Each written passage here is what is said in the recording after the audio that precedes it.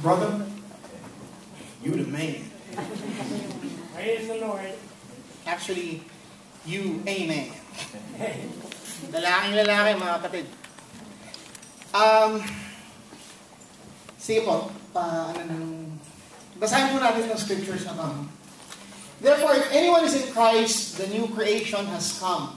The old has gone, the new is here. And all this is from God, who has reconciled us to himself through Christ gave us the ministry of reconciliation. That God was reconciling the world to himself in Christ, not counting people's sins against them, and he has committed to us the message of reconciliation. If you're paying attention to the testimony of our brother, his testimony is powerful because number one, it exposes one of the greatest lies of our time today. That ano, that some people were born this way. Hindi totoo yun eh. Hindi totoo yun. Um, kung narinig niyo yung testimony ni Anthony, sabi niya, may dahilan kung ba't siya nagkaganon. Wala yung father niya. At hindi rin malayo na yun din ang agenda ng kaaway kung bakit niya isinusulong ito ngayon. Kasi nga, if you can destroy the basic building block of society, which is the family, then you can destroy society. Concurrent with this, alam niyo ba na sa Detroit, they, they recently unveiled a 10-ton statue of Satan.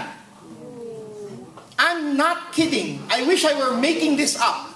They recently unveiled a 10-ton statue of Satan with two children, a boy and a girl, looking adoringly upon Satan, and they designed this seated statue of Satan so that you could sit on its lap. All right? And do you know why they're doing this? Because the Satanists say, we do not believe in a literal Satan. We believe in Satan as a symbol of what? Of the sovereignty of man. Si Satanas ay simbolo lamang ng karapatan ng taong magpasya para sa kanyang sarili kung ano ang gusto niyang gawin sa kanyang sarili. At hindi ba yun din naman ang sinasabi ng mga LGBT? Yun din naman ang sinasabi ng mga homosexuals? And before you think that we're uh, zeroing in on the homosexuals, yun din ang sinasabi ng mga alcoholics. Yun din ang sinasabi ng mga addicts. Yun din ang sinasabi ng mga nangangalon niyang lalaki at mga babae. I can't help myself. Eh, ganito ako eh. Eh, ito gusto kong gawin eh. Ano ang pakialam mo? Buhay ko to. Mali. Hindi mo buhay yan. Buhay yan na pinaram sa'yo ng Panginoon. Paano mo sasabihin buhay mo yan? Eh, pag nagkasakit ka, kailangan mo ng, kailangan mo ng makina para huminga. Kung buhay mo yan, di ba hingayin mo sarili mo? Di ba? But the powerful thing is this. If you listen to our brother's testimony, he said this, that I used to be this and I am no longer this anymore. Yung ginamit niyang phrase na naging palasak noong 1980s, born again. Di ba? Masyadong na-associate yon sa isang grupo ng mga tao. Kala to nila mga tao yung born again, asosasyon. Hindi pwede maging asosasyon yung born again. Bakit? Kasi walang asosasyon ng mga born. Pag-isipan niya, magiget niya rin yun. Sino rito ang pinanganak? Utang na loob, magtaas kayo ng kamay. Kasi kung hindi, singaw kayo. Di ba? Lahat kayo pinanganak, pero wala naman nagsasabing kami kasama sa mga born.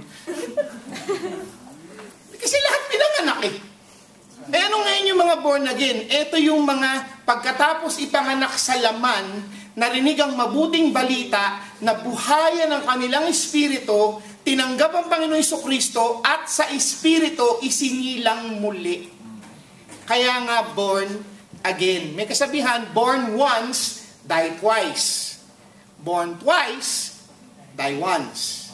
If you were born once, pinanganak ka lang ng nanay mo, dalawang beses ka mamatay. Mamamatay ang katawan mo, mamamatay ang kaluluwa mo.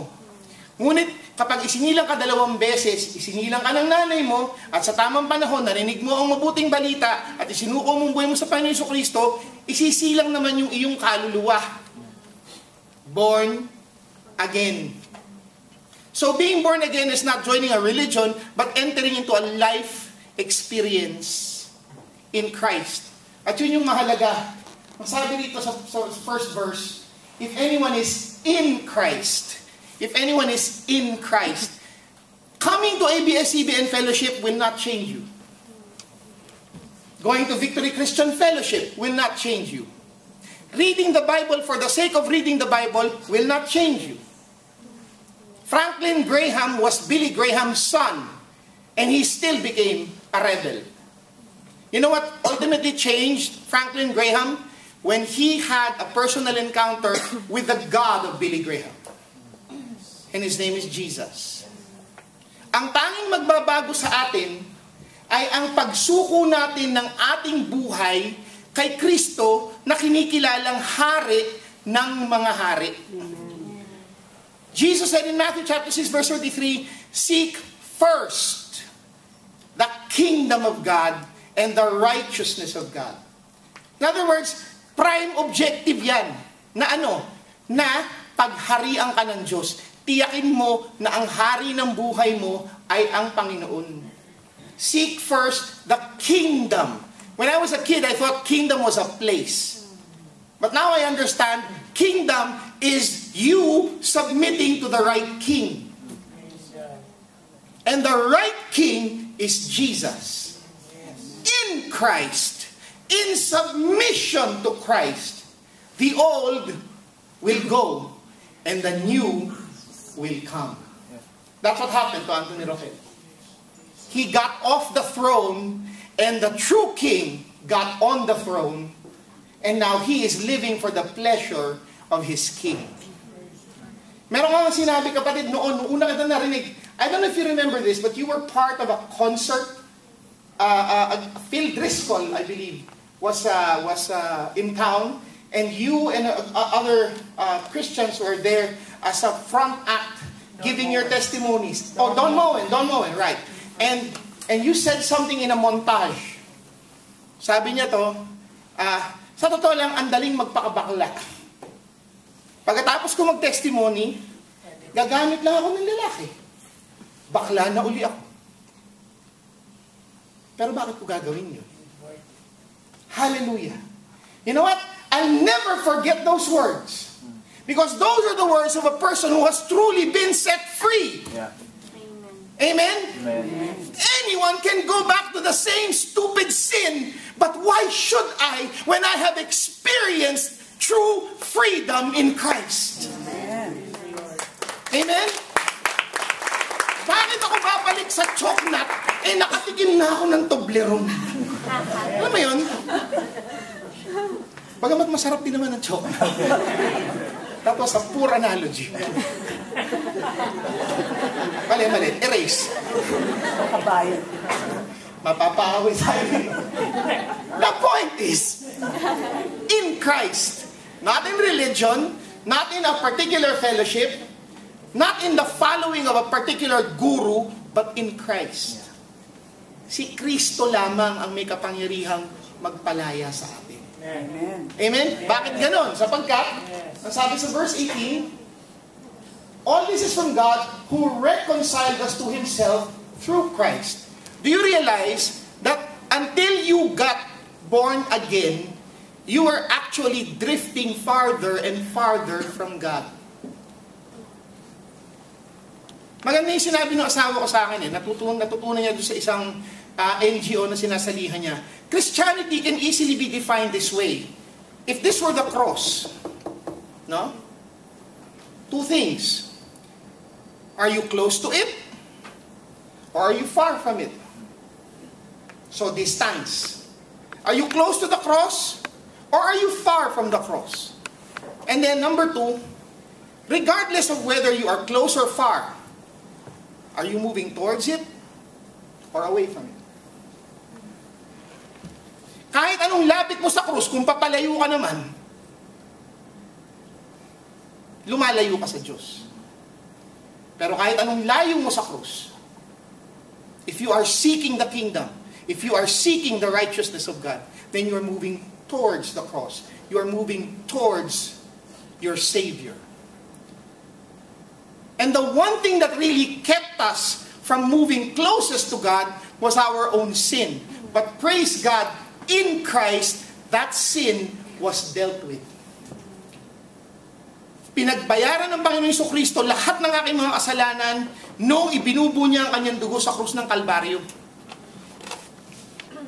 Bakit kahit gaano ka-savage ng tribo, alam nila na pag may problema, dapat pumatay ka ng hayop? Di ba? Punta ka sa bundok, pag pangit ang ani, nagkakatay sila ng manok. Di ba? Bakit alam nila yun? It is hardwired into the heart of man that to please God, there must be a sacrifice. And the beautiful thing about Jesus is this, when He came, ano sabi ng pinsan niya, John the Baptizer, Behold the Lamb of God, the ultimate once for all sacrifice of God, who takes away. The blood of animals merely covered sin. The blood of Jesus removes sin. And because the blood of Jesus has removed our sin, now we are reconciled to God. Makakalapit na tayo sa ating tunay na Ama. Malapitan sapagkat wala na yung hadlang. Wala na yung kasalanan. Binura na, inalis na ng dugo ni Kristo. And so in Christ, we are not only made new, we are reconciled to God Himself. But just before you think that this is all about you, and this, kapatid, ito, itong, we really need to pray for our brother because I believe that your testimony, specifically your testimony, can be used mightily of God for such a time as this. Kasi ang sabi dito sa verse 19, All this is from God who reconciled us to Himself through Christ and gave us the ministry of reconciliation. Alam niyo ba na kalooban ng Panginoon, hindi lang na tayo makipag-ayos sa Kanya, kundi pagkatapos na tayo makipag-ayos sa Kanya, gawin niya tayong daluyan ng pakikipag-ayos para sa ibang tao. Sinabi mo kanina, hindi naman nabubuntis ang bakla, pero dami sila ng dami. Ako naniniwala, gagamitin ng Panginoon para kumonti sila. I'm not kidding. No, because ikaw lang ang credible eh. Walang maniniwala sa akin dahil hindi naman ako naging bakla dati. hindi naman ako nakita sa TV na ka-makeup. Ah, pangako ko sa'yo, ayaw mo makita yun. God gave us the ministry. And look, it's not just Him, it's all of us. Why? Because though we were not homosexuals, we were something else entirely. Whatever it was, whatever your poison was, Right. Now, God can use you to be an agent of reconciliation to people who have the same struggle because now we can tell them, look, God changed me. Meron nagsabing ganito eh, the gospel is simply one beggar telling another beggar where he got bread. It's not about me, it's about Jesus. Amen? And if you have had an encounter with Jesus, I promise you, you will know and people will know because you will change. Babaguhin ka eh. Magbabago ka. May mga iba nagbabago ng biglaan, tatlong buwan lang, kumbinsido pamilya. May mga iba naman, dahil ang tigas pa rin ng ulo, dahan-dahan ng pagbabago. Pero nagbabago. Di ba? Kung alin ka man sa dalawang yon, bahala ka. But here's what I've learned. The more you obey, the faster you change. Amen? The more you obey, the faster you change, the more credible your testimony. And look, it says, He gave us the ministry of reconciliation. What is this ministry? That God was reconciling the world to Himself in Christ, not counting people's sin against them. And can we read that last part all together? One, two, three. And He has committed to us the message of reconciliation. The message of reconciliation. Ano yung na reconciliation? Po. Yeah, no? It is the act of causing two people or groups to become friendly again after an argument or a disagreement. Do you realize that God and the world did not have a disagreement? They had a falling away. Adam fell, and all of us with him. But in Christ, there is reconciliation. And now we can be agents of reconciliation. Ang sabi pa rito, the process of finding a way to make two different ideas, facts, etc. exist or be true at the same time. How many of you know that in the last days, ang pagtatalunan ay ang katotohanan?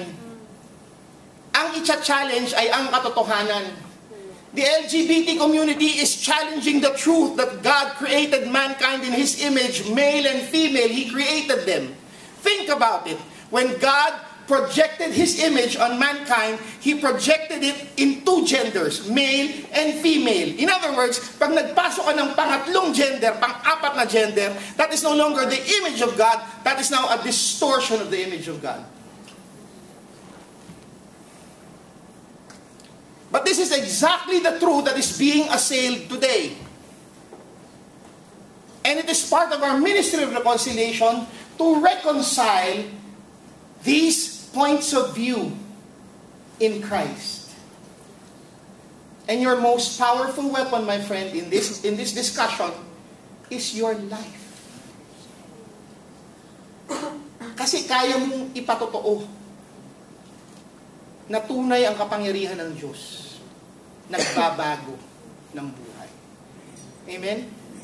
Now, if you've ever tried to mediate between two parties, alam mo, hindi madali yun.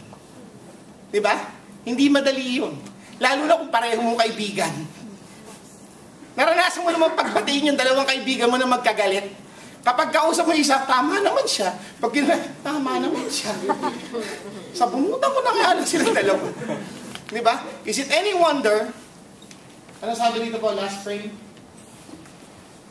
Jesus himself said, Blessed are the peacemakers. Blessed are the peacemakers. Blessed are the reconcilers. Because they will be called children of God. Do you realize that you are never more like God than when you seek to make peace between conflicting parties? Because that's exactly what Jesus came to do. Now, I'm not going to repeat what has already been done. You've been given the opportunity to respond to the gospel. Our brother prayed for you. He led you to the foot of the cross. And many of you responded. Maybe some of you are still, you know, mm, that's fine. I just want you to understand that after this is done, the Holy Spirit will continue to speak to you. And if you haven't decided yet, you can decide in the car, you can decide in your room, you can decide wherever. God's not done with you. But if you have received Jesus as your Lord and Savior, understand this. You play a vital role today, right now, to preach the gospel of Jesus Christ to people with different opinions and differing views because they need to get their minds straight by the truth of God. Amen? And so, I would like to ask our brother if he could please come here and um, have a seat.